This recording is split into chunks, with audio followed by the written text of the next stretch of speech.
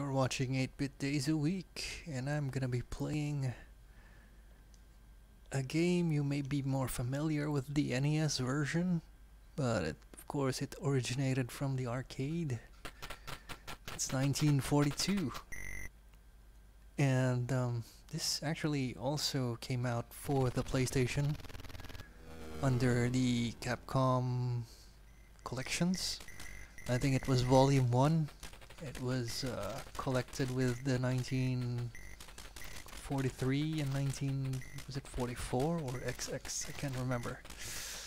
Anyway, yeah. So arcade version, of course, much better than the NES port that we got. This one is smoother. The scrolling, that is.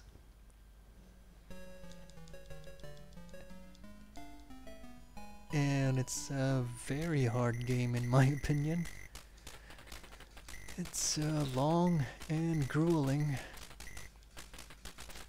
Can't even imagine someone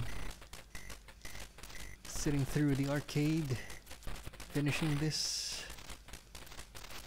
in like uh, one sitting. I'm sure somebody is able to do that. Uh, definitely not me.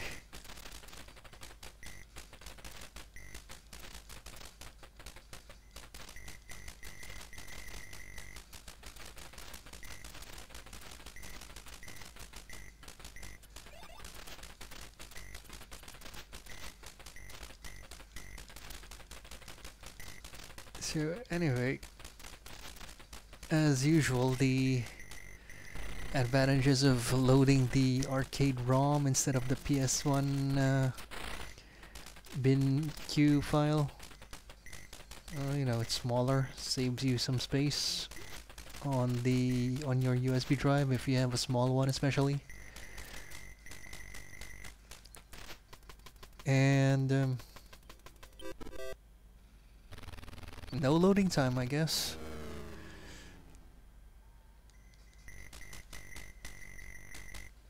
But it's essentially the same. Can't get any more arcade perfect than this one, you know, other than having the actual arcade cabinet.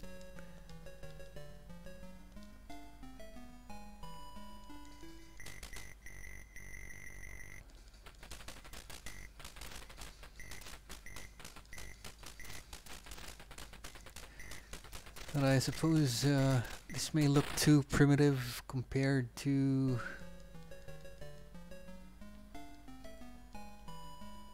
even just um, you know uh, shoot 'em up games that was released a few years later.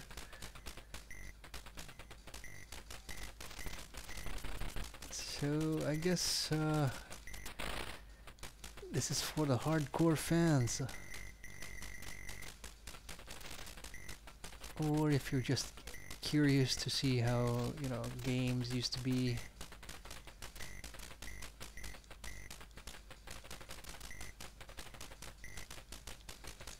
Uh, with their insane challenges. And uh, anyway got unlimited credits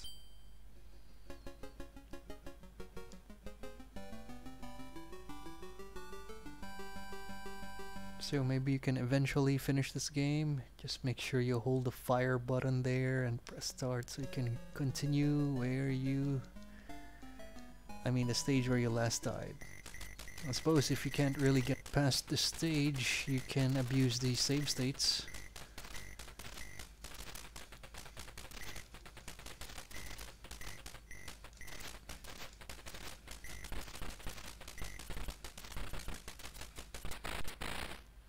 But yeah, anyway, I think that should be it for this video. This is 1942, the arcade by Capcom.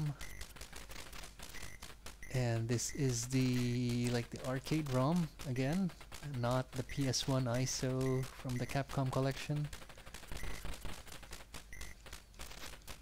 And you're watching 8-Bit Days a Week. please do like, comment, and subscribe. Let me know what you think. Thanks for watching.